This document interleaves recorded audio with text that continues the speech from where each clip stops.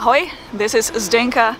The most beautiful season of the year, fall, is here. Anybody with a camera should head outdoors and take a lot of photos. One thing is to take the photos and other thing is to edit them, to change the colors, to set the tone to your liking.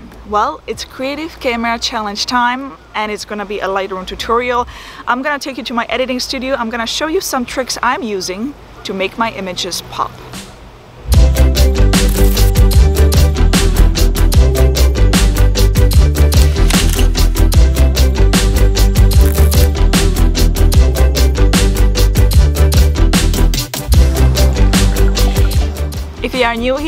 Welcome. My name is Zdenka Darula. I take photos since 2007. I create photo and video tutorials, tech reviews and creative camera challenges like this one. So if that's something you're interested in, you might consider hitting the subscribe button. Before I take you to Lightroom, let's look at the last Creative Camera Challenge and that was high-speed photography mixed with shallow depth of field. and I think that this one was pretty tough one for most of you. I was hoping to see more images showing shallow depth of field. I got a lot of photos showing high-speed photography though. But that's okay. I chose some of the most interesting images which I like the most, which I will be showing now in a random order. Not all the images are showing shallow depth of field and because I cannot pronounce most of the names, the names will be displayed, displayed on the images and appropriate credit will be given in the video description below. First photo here is a giant wave. It is quite impressive view. Second photo here is a bird in the flight. Very nicely caught moment. Next one here is a sunrise freezed inside of the wave as the author named it. Another very interesting idea here, loving the blue and golden tones. Next we have curious cat looking at confetti. And last shot here, I like the most of all photos, is this water drop. Very nice choice of background, by the way. Thank you very much for all the submissions. Let's move on. Fall is a very colorful season. I took a whole bunch of images this year and last few years, found them in my archive and imported them to Lightroom.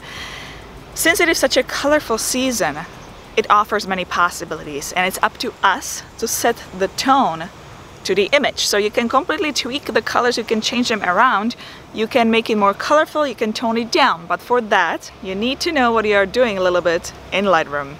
And you can absolutely purchase photo presets, apply them and just tweak them a little bit.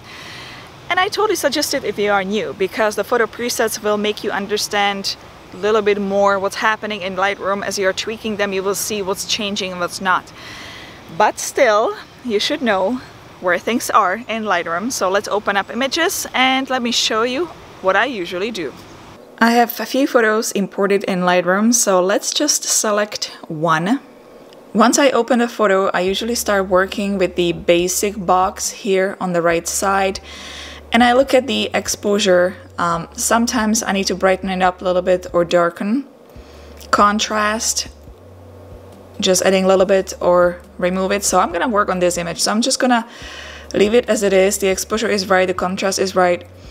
Highlights, sometimes I bring them down a little bit to add more detail in a photo and I'll do the same with whites. Shadows I usually leave once in a while. I brighten them up a little bit, but at this moment I'm just gonna leave them the way they are. I don't really use clarity um, texture and dehaze as much, almost never actually. Sometimes I boost the color here in vibrance and saturation. It depends how colorful I want the shot. I'm all about colors. I know that North America style is more plain and simple. I'm the opposite. I have I love colors. So at this point, I'm not going to add much more vibrance to the photo or saturation. I'm just going to keep it the way it is. I would like to transform this photo more looking like a fall. So let's move on to another box which I actually use the most and that would be the HSL slash color box. Here you can adjust hue, saturation and luminance. So when we are looking at the image we can play a little bit with the colors and change them completely. So let's start with the green and just completely drag it to the left to make it look yellow. Now the yellow, let's change it a little bit to look it more brownish. So I'm gonna just pull and drag to the left. Now orange, because we want that line to be more yellow, I'm gonna drag it to the right to make it yellow once more again. And I'm going to bring the blue tiny bit to the left right here. Next I'm going to look at the saturation and just because the path is here a little bit too yellow I'm gonna bring it down so I'm gonna drag a little bit yellow to the left but not too much. Now you can also get rid of the blue if you want kind of duotone image so if I'm gonna do that then the image is gonna just look like this. But let's leave the blue in for now and the last box here is the luminance. So here you can make the image pop a little bit more. So I'm gonna start with the yellow and drag it to the right. That will brighten up some of the yellow spots. The same thing happens with the green.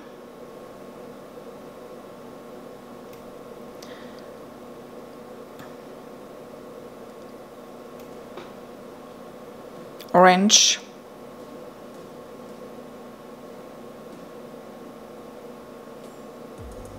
I'm gonna pull back a little bit so I'm gonna turn it to the left and that's about it for now so if I would remove actually the uh, the blue here in saturation then we would get just a duotone image so let's just remove it actually for fun and let's see before and after what the big difference is this is before this is after before after. So as you can see, you can completely change the colors. Um, let me just bring the blue back again. You can make it look completely different. Last box I use quite a bit as well is in the effects and it's called post crop vignetting. If I do have an object in the middle of the image, I sometimes like to add vignettes. So I drag the first one a bit to the left and then I play with the midpoint how much I actually want the effect to be. Once I'm done here in the effects section, then I usually go back to the top and I look at the exposure one more time if it is the way it should be and also the contrast. Um, then sometimes I still go all the way to the temperature and I just play by tiny bit sliding it to the right and left to see which tone I really like. And that is how I changed the colors on one of my latest images I posted to Instagram. Um, for example, this one or this one. Um, the grass here was originally green, so I just changed the color to get more fall look. And that's it, that's all I pretty much do. And I know that some of you were asking about my photo presets. Well, I will be working on them very soon and I will definitely let you know once they are available. Well, your turn now. You have until October 30th, 2019 to submit fall images. Show off beautiful colors, interesting tones, interesting editing. You can upload the images to Facebook group and the link is in the video description below. It's ZD Camera Challenge Facebook group or you can upload them to Instagram and please use hashtag ZDChallenge9 and I'm so looking forward to seeing all of the images. The best photos will be showcased in the next Creative Camera Challenge which will be in November. Well, hit the thumbs up button if you like today's video, subscribe to all future videos like this. If you have any questions, comments, or simply want to say hi, you can do so in a comment section below. And I will see you, my friends, in the next one. Ciao. Ahoy.